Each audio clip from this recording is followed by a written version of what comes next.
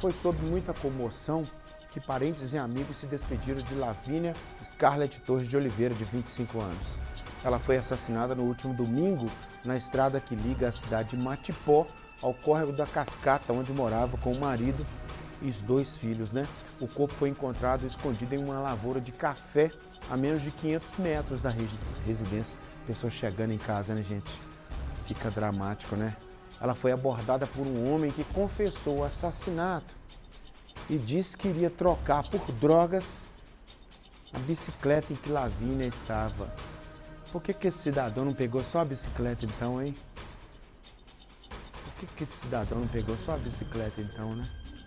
Durante o velório foram feitas homenagens por amigos, familiares e atletas e depois o corpo saiu em cortejo, que foi acompanhado por muitas pessoas para o cemitério da cidade, onde houve sepultamento. Quer dizer que ele confessa o assassinato e diz que a bicicleta ele ia trocar por drogas. É o cidadão que saiu da Bahia, né, que, que já, já respondia por, por crime de estupro né, e homicídio na comarca de São Paulo.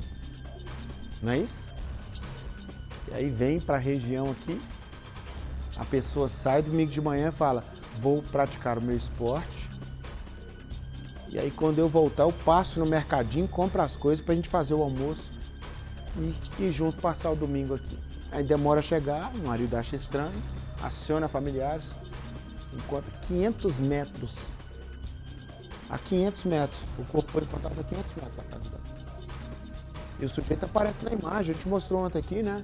Aparece na imagem, circulando na bicicleta, como se nada tivesse feito. Ah, fez uma coisa gravíssima, mas é porque não se importa, né?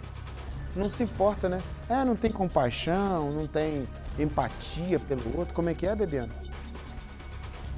É, não, não tem empatia, não tem compaixão, não, não tá nem pelo outro, né? É como se tivesse feito uma coisa super normal e sai com a bicicleta normal.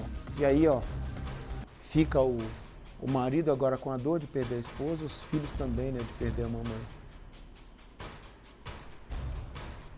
Isso é cruel, rapaz.